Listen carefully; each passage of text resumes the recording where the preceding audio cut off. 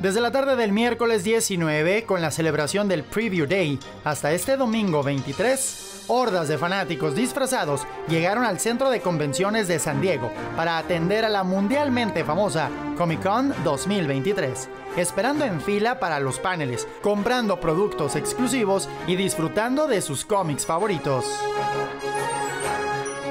Y aunque faltó una cosa en las actividades habituales, la presencia de reconocidas estrellas de Hollywood, debido a las huelgas en curso del Writers Guild of America y los sindicatos SAG-AFTRA, los fans de la Comic Con no dejaron de hacerse presentes.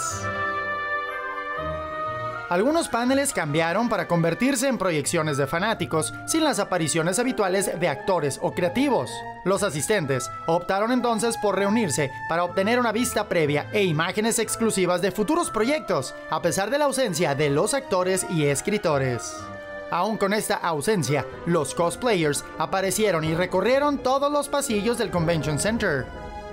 En el escenario, los paneles de cómics y videojuegos atrajeron a las multitudes más grandes de esta edición.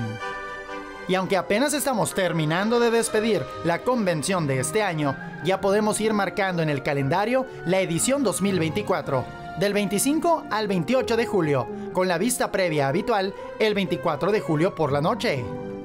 El evento se llevará a cabo una vez más en el Centro de Convenciones de San Diego, su hogar durante los últimos 41 años y al menos uno más hasta que la convención decida si renovará o no su acuerdo con la ciudad.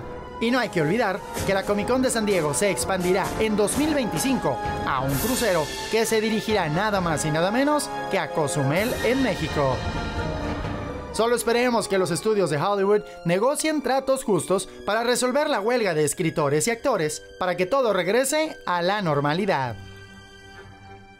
Para KZY Noticias, Edgar Gallego.